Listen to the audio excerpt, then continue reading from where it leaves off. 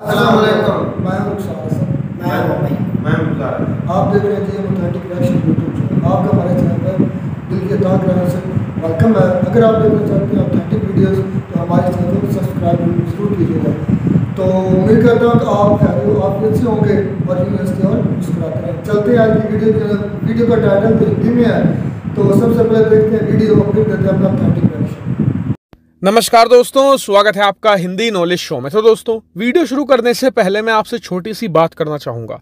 आप सभी लोग जानते हैं कि इस समय गल्फ देशों द्वारा भारत को घेरा जा रहा है। हमें ह्यूमिलिएट करने की कोशिश की जा रही है, हमें बदनाम करने की कोशिश करी जा रही है। और मैंने देखा है कि इस चीज़ को देखकर आप में से कई लोग बहुत परेशान हैं। तो मैं आप सभी लोगों से कहना चाहूँगा कि परेशान मत होइए।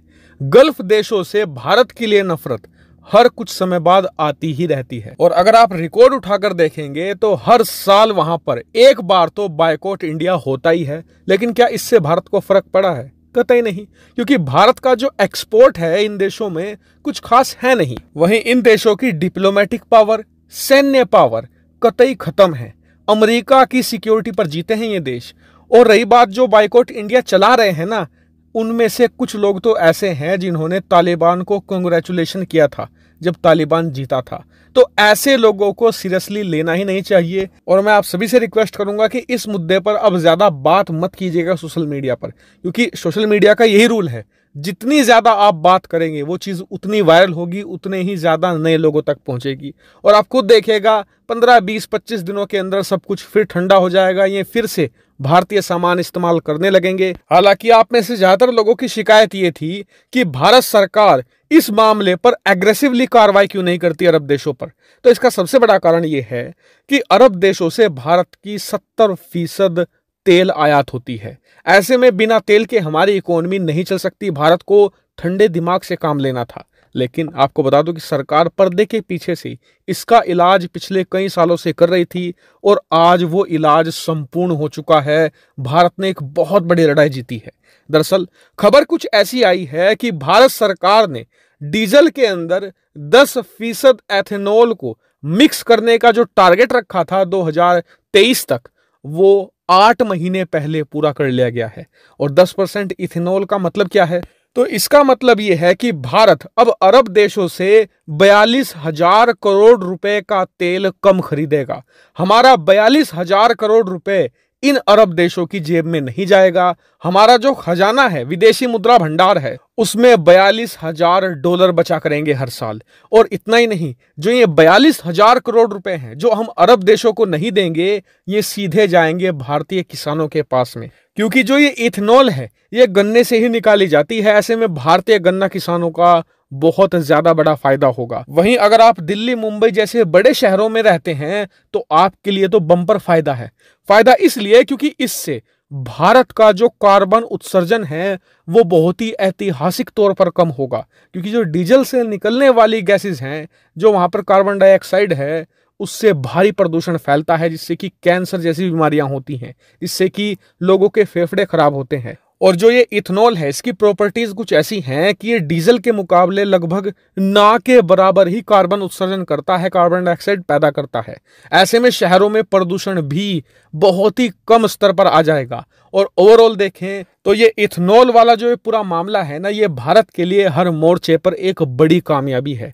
और समय से आठ महीने पहले पूरा करना, ये तो अपने आप में और बड़ी उपलब्धि है। वहीं सरकार से मेरी यही रिक्वेस्ट है कि जो पूरा ये मिडिल ईस्ट का मामला हुआ है ना, ये हमारे लिए हाई टाइम होना चाहिए। जिस तरीके से रूस यूक्रेन युद्ध में हमने ये सीखा कि हमें आत्मनिर्भर बनना है हथियारों के मामले में।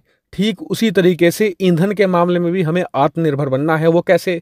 ज़्यादा से ज़्यादा इलेक्ट्रिक वाहन सड़कों पर उतार कर पेट्रोल, डीजल को खत्म ही कर दो बिल्कुल, जिससे ना तो भारतीय पैसा अरब देशों की जेब में जाएगा और भारत की जो फॉरेन पॉलिसी है, वो भी आज़ाद हो जाएगी। भारत खुलकर मुँह तोड़ जवाब देगा, जवाबी कार्रवाई भी कर पाएगा। और इसे करने का सबसे बेहतरीन रास्ता ये है कि सरकार ज़्यादा से ज़्यादा सब्सिडी दे।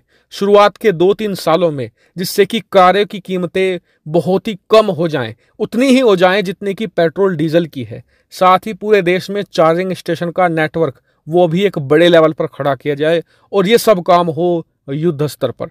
2030 का जो सरकार ने आंकड़ा रखा है कि 2030 तक हम पेट्रोल, डीजल की कारें बैन कर देंगे, इसे 2026 तक लाया जाए। हालाँकि आपका इसको लेकर क्या सुझाव है? कमेंट करके ज़रूर बताएगा। फ़िलहाल इस वीडियो में इतना ही। Thank you very much watching video भाई वीडियो तो ये ख़त्म। बड़ी इंटरेस्टिंग वीडियो थी इसके बारे में हम पहले भी इसके रिलेटेड एक वीडियो तो बना चुके थे कि इंडिया जो है ना क्योंकि सारी बात है हम जिससे कोई चीज़ खरीदते हैं उसका रोक तो फिर बर्दाश्त आपको करना ही पड़ता है। गल्फ कंट्री से इंडिया को बहुत ज़्यादा मतलब कि सेवेंटी परसेंट को बता दें आयल लेते हैं क्रूड ऑयल वगैरह लेते हैं। तो सारी बात है उनका अरब मालिक तो वही ना गल्फ कंट्री का तो सारी बात उनका फिर रोक तो आपको झेलना पड़ेगा। और ये इंडिया का बहुत बड़ा स्टेप है उन्होंने अपने जो डिमांड है, जो उधर से लेते हैं, उसको कम करने के लिए अपना जो ऑयल लिया उसमें इथानॉल डाल हैं। क्योंकि इथानॉल तो एक शराब से हम कहते हैं, वो भी जलती है। जब वो पेट्रोल के साथ या डीजल के साथ मिक्सर पर जलती है तो उससे जो वो बता रहा था कि चालीस चालीस हज़ार करोड़ की बचत हो रही है मुल्की खजाने को। और ये बहुत बड़ा इनिशिएटिव इंडिया ने है। और अपने किसानों का भी उन्होंने मुनाफा हाँ, किया है। उनका किसाना गन्ना जो इतने भाव में नहीं जाता था वो जब ये ऑयल में इस्तेमाल करेंगे तो उसका दाम। दाम अच्छा होगा और इंडिया के किसान हैं वो भी खुशहाल हो जाएँगे। इससे बहुत ज़्यादा बेनिफिट्स होने वाले हैं। सोच अच्छी है लेकिन वक्त लगेगा वो उन्होंने टारगेट तो फिक्स किया ना। वो वो बता रहे थे कि हम 2030 तक करेंगे। फिर बताया कि नहीं हमें जल्द से जल्द उनसे दो हज़ार छब्बीस तक वो कह दो हज़ार छब्बीस तक वो कह रहे हैं हम अपने वाहिद मुल्क है जो गन्ने से इथेनॉल बनाता है। सबसे ज़्यादा इथेनॉल वो बढ़ता है ब्राज़ील मतलब उसकी इंडस्ट्री जो है उसमें मिक्स किया जाता है अपना पेट्रोल में ज़्यादा से ज़्यादा इथेनॉल। जारी बात है अब मैं अक्सर ये बातें करता रहता हूँ कि हमारे जो नॉन रिन्यूएबल रिसोर्सेज हैं जिस तरह जो पेट्रोल डीजल जो मट्टी का तेल जितने भी ये नॉन रिन्यूएबल रिसोर्सेज है, इससे हम अब छुटकारा हासिल करना पड़ेगा। क्योंकि ये है कि खत्म हो जाने ये हैं। इंडिया में आप देख रहे हैं ट्रेनें भी उन्होंने बिजली पे चला दी हैं। भाई वो बात कर रहे हैं ना कि इलेक्ट्रिक बाइक वो स्टेशन भी लगा रहे हैं और सब ज़्यादा ज़ोर दे रहे हैं वो इलेक्ट्रिक कार हर चीज़ के। इलेक्ट्रिक क्योंकि उनका डैम बहुत बड़े हैं बिजली बहुत ज़्यादा बहुत बिजली फ्री है। हमारे यहाँ तो इतना मतलब एक बाहर ऐसे भी जगह है जहाँ पे बिल नहीं आता। भाई इंडिया ऐसा मुल्क है जो जहाँ सोलर पैनल का सबसे बड़ा खेत वहाँ हाँ, सबसे ज़्यादा बिजली वो सोलर पैनल उन्होंने सबसे बड़ा प्लांट दुनिया का सबसे बड़ा आपने एक वीडियो में दुनिया का सबसे बड़ा मुझे नहीं लगता है। मुझे नहीं लगता कि वो दुनिया का सबसे बड़ा है।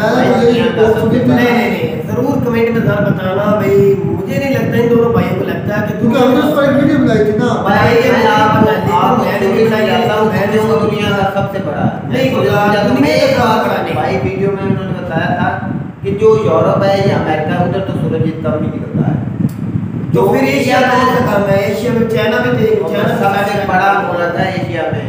चलो अभी कमेंट में ज़रूर बताना। हम भी सर्च करेंगे अभी कौन है दुनिया का सबसे अरे हमने इस पर वीडियो भी बनाई थी। जैसे मना ये मसला ये है कि ये इंडिया अक्सर मना बात है वो अपनी तरक्की पर कोशिश कर रहा है कि हम किस तरह न्यू से न्यू स्टेप ले न्यू टेक्नोलॉजी से न्यू टेक्नोलॉजी ले। हमने एक वीडियो बनाई थी वो मेरे ख्याल में उस पर सेमी कंडक्टर पर वो बता रहा था वो भी यूज़ हो रहा है जब इस्तेमाल सुपर कंडक्टर उस पर भी हमने वीडियो बनाई थी।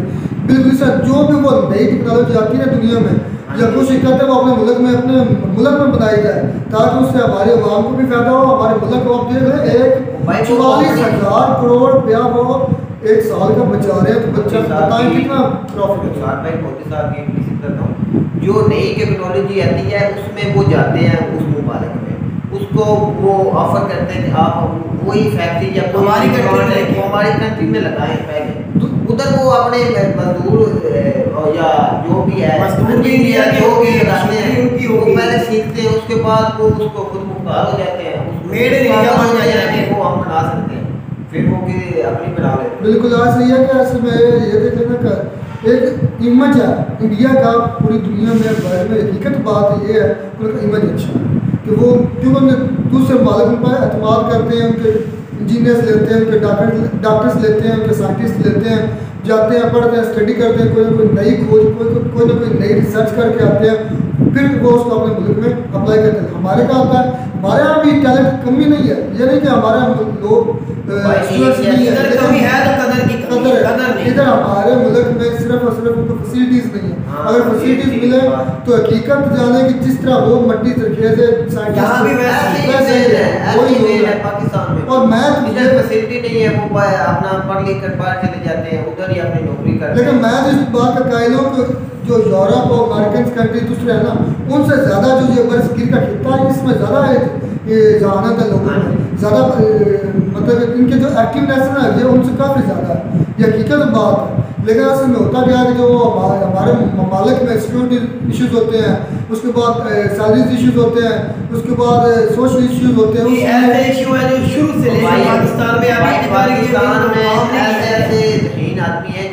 अमेरिका में जाके इंजीनियर है बड़े बड़े डॉक्टर हैं।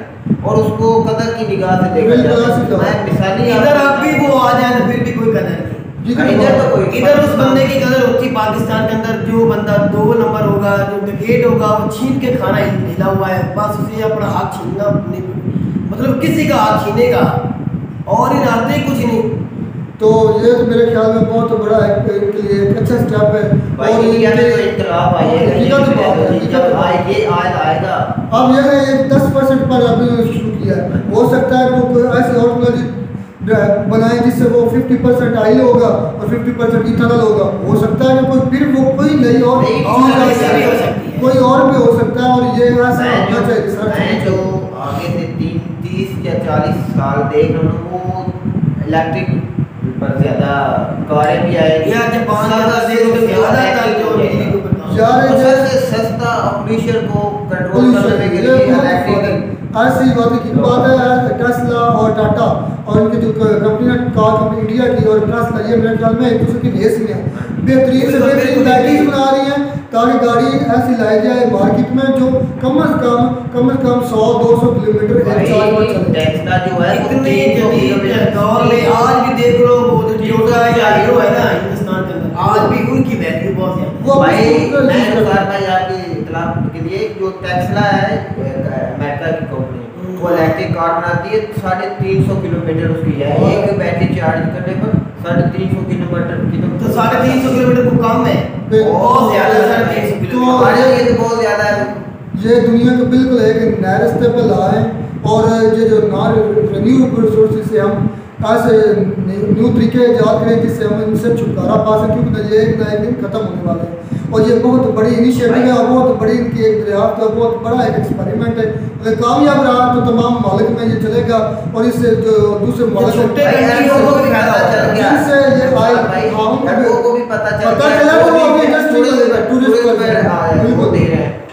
दुबई ने ज़ोर दिया है वो तो कामयाब हो गए। उसके बाद सऊदी अरब हाँ, सारे। ममालिक जो दुबई जैसे है ना अरब अरबाद में वो टूरिस्ट पर ज़ोर दे रहे हैं। उनको भी पता है ये तो हमारे हो उम्मीद करते हैं कि आपको हमारी ये वीडियो अच्छी लगी होगी। अगर वीडियो अच्छी लगी हो तो हमारे चैनल को ज़रूर सब्सक्राइब कीजिए कीजिएगा हमारे ऐसे व्यूवर्स हैं एट्टी परसेंट ऐसे व्यूवर जो सिर्फ़ चैनल देखते हैं और चले जाते हैं। आपसे रिक्वेस्ट है कि आप हमारे चैनल को सब्सक्राइब करें। तो मिलते हैं नई वीडियो में किसी नए टॉपिक के साथ। तब तक दीजिए इजाज़त। अल्लाह हाफिज़।